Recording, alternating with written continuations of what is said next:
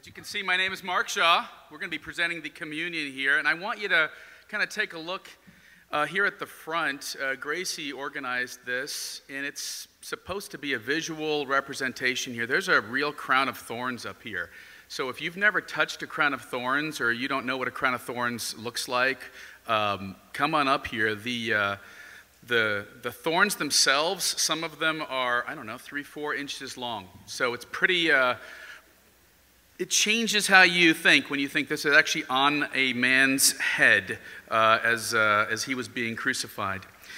So today we're going to celebrate the Lord's Supper, which is a type of reenactment of the Last Supper that Jesus spent with his 12 disciples the night of his arrest. Jesus' Last Supper was a four hour meal. It was really similar to our Thanksgiving. It was a big deal, and there was a lot of discussion going on about one topic the liberation and freeing of the slaves in Egypt. And simply put, what Jesus did was he changed the entire paradigm. He said, instead of talking about Moses and the freedom there, we're going to actually talk about me. I am going to replace all your thinking and all your thoughts. It was four hours of asking questions. That's what the Seder is asking a lot of questions, four hours of answering questions, four hours of discussing the power of God's liberation.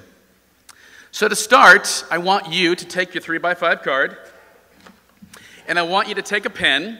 Hopefully, you all have that. And I want you to draw the crucifixion in 30 seconds. You can use stick figures if you're normal, like me. If you're a super duper artist, then go for it.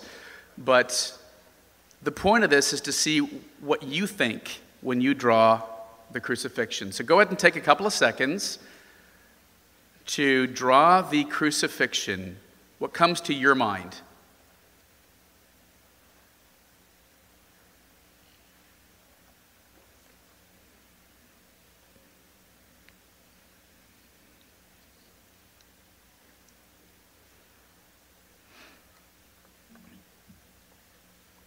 All right. Now, normally I would have you share, and maybe later when we have our discussion with each other, we can share what we drew. But uh, what I'd like you to do is raise your hand. How many of you drew one cross? Raise your hands real high. One cross. All right. How many of you drew three crosses? Okay, so we're about evenly spread out. The right answer was three, by the way. That was the right. No, there's no. No right answer. No right answer. I, uh, I would typically probably just draw one cross myself. And I'm going to ask you to uh, think of something here. Turn your card over. I want you to think of something that would complete this sentence. So here's the sentence In the last six months, I have really been suffering because of. So, in the last six months, and here I'm trying to get you to engage a little bit, and you don't have to share this with anybody. You can if you want. But this is just, this is for you to think about when are you suffering? I know some of us are suffering economically. We're suffering because we've lost friends. There's a lot of ways we're suffering, and that's the great uh, common factor that we all have. no matter how rich or poor or whatever you may be, you're suffering somehow. We're all in it together. So write that down. It can be one word, it can be a sentence. And I want you to think about when you feel like you are in pain. When you feel like you're in pain, does it make your heart softer or does it put your heart more on edge? When you feel like you are suffering, does it make you bitter or does it make you better? Does it make your heart harder or does it make you more receptive? Does it make you humble and empathetic or resentful? What does your suffering do for you? So, I'm going to tell you a little about my suffering. So, uh, as some of you may or may not be aware of, I was diagnosed with a, a burnout, a medical burnout, a couple of years ago, and I'm still recovering. And I wish I wouldn't still be recovering, but I am. And those of you who know me closely, you know that uh, my job has affected my health uh, in pretty adversely.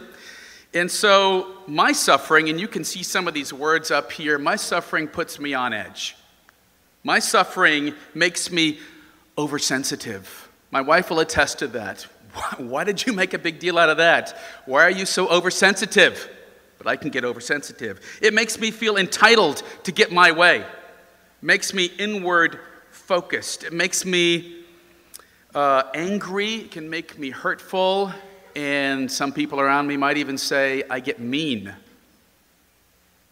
It prevents me from having empathy. Why should I spend time thinking about your problems when I got my own? Thank you very much. You should actually be listening to me and my problems. Makes me ask, where is God now? And it makes me ask, God, if you're so live, loving, why are you letting me go through this? So, God has another perspective. God uses our suffering. And when we think of suffering, we're typically, you know, on the cross, we're thinking of Jesus, but I also want you to start thinking about these two folks, okay, next to him, the three. God uses our suffering as a wake up call, as an alarm clock, he uses it to unleash a humility that we probably wouldn't have. He uses it as a moment of truth, a moment where we're able to make decisions that we normally wouldn't make. Like the prodigal son, suffering can bring us so low that God can open up our minds, open up our hearts, open up our ability even to change, put us in a different mindset and here at the cross, I think God is trying to paint a physical parable. So there's parables in writing. I read a book on parables that I think Tim Priestley turned me onto.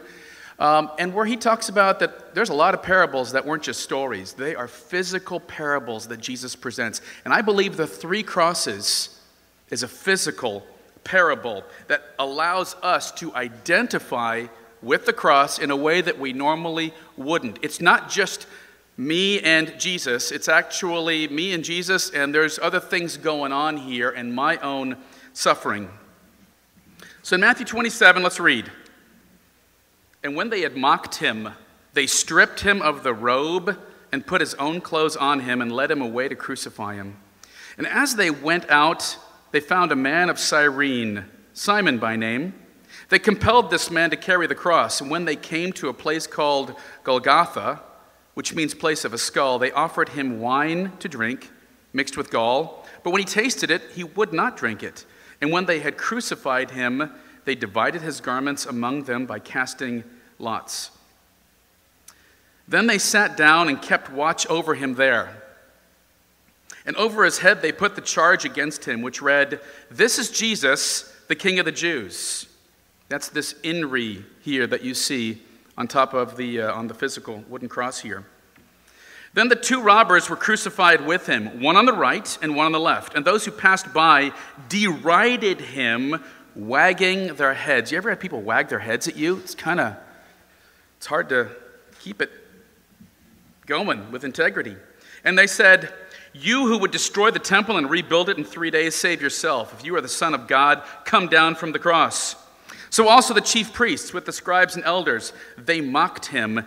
He saved others, he can't save himself. He is the king of Israel. Let him come down now from the cross, and we will believe in him. He trusts in God. Let God deliver him now if he desires him. For he said, I am the Son of God. And get this. And the two robbers who were crucified with him also reviled him in the same way. You see, you've got a crowd around Jesus, and none of it's looking good. Caiaphas, the high priest, Pilate, the governor. You have the centurion who later would convert because of what he experienced. Malchus, the servant of the high priest, whose ear had been cut off and restored. Simon of Cyrene, the gambling soldiers, the mocking elders, the mocking crowd, the mocking scribes. And then you have the women who cried out for him. And finally, you've got two robbers thieves, criminals, whatever you want to call them, and they both reviled him and insulted him. And I don't get the feeling that this happened for a moment, and I don't get the feeling this was one little insult. One insult, one mockery. No, I think this went on just as the bandwagon pulled together and everybody got on board.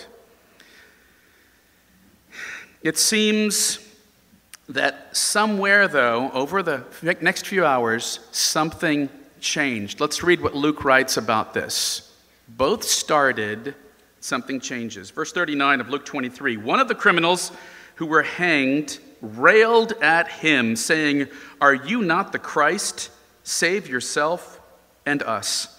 But the other rebuked saying, Do you not fear God, since you are under the same sentence of condemnation? And we indeed justly, for we are receiving the due reward of our deeds. But this man has done nothing wrong. And he said, Jesus, remember me when you come into your kingdom. And he said to him, Truly I say to you, today you will be with me in paradise. So we see something fascinating here. One man continued to insult and the other man stopped insulting him. Both men suffered, but one man changed. Both men were in pain. Think about your pain. Both men were in pain, and yet one man saw something different, saw something different in Jesus. Both men were in shame. In shame. Half naked, or fully naked, being punished.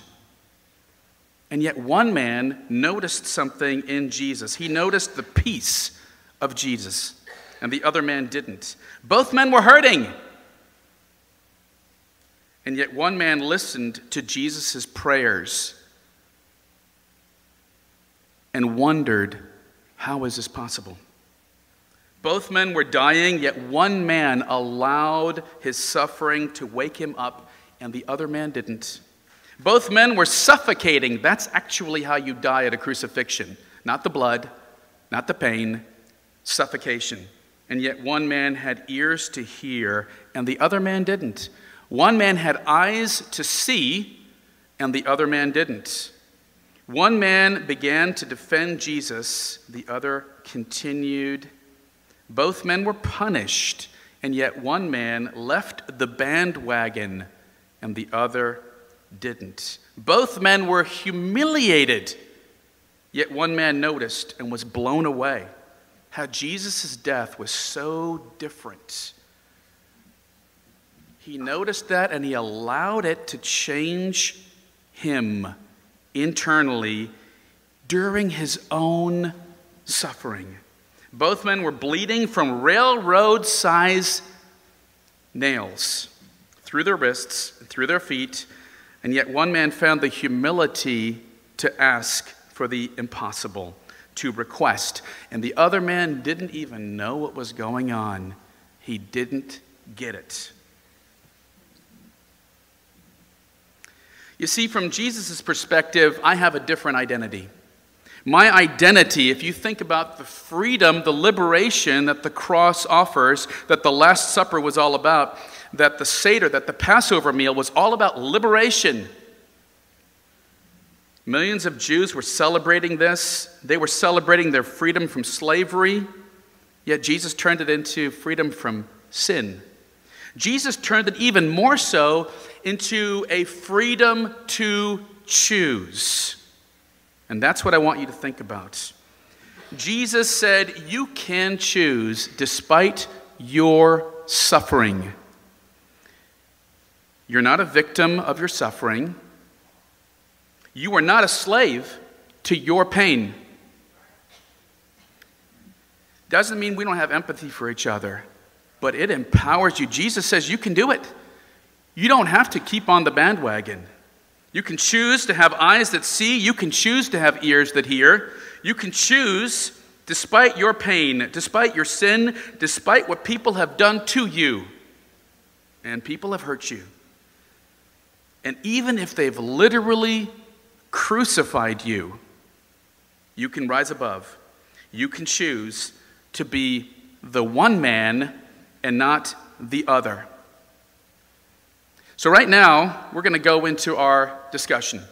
And what we do here in the church, and I think this is fantastic because if you think about what the Passover meal was, it was a four hour long discussion. Lots of questions were being asked, lots of questions were being answered. And to this day, that is what happens in the Passover meal that the Jews celebrate. So, for this discussion, we're going to break into small groups of three to four people around you, in front of you, next to you. And I want you to look at the answer that you wrote. If you are courageous enough to share it, maybe it doesn't take courage, maybe it does, that's fine. Uh, look at the answer that you uh, wrote. I feel like I've really been suffering because of whatever it is. And I want to ask you this, and maybe discuss this. How have you allowed your own suffering and pain to prevent you from experiencing Jesus' freedom and value? I'm not going to make you categorize yourself. I'm this, I'm the, I'm the good robber or the bad robber. You don't have to do that. You know, I, I'm such a bad. No, that's not the point. But because I know we're all in kind of going both places. But I, I want you to look at your own suffering and I want you to understand you are free to choose despite your level of pain. Is that what you're experiencing right now? Is that your relationship with God or is that something that you feel like, wow, you need to kind of understand the cross and his love for you even more? So let's take five minutes and discuss this.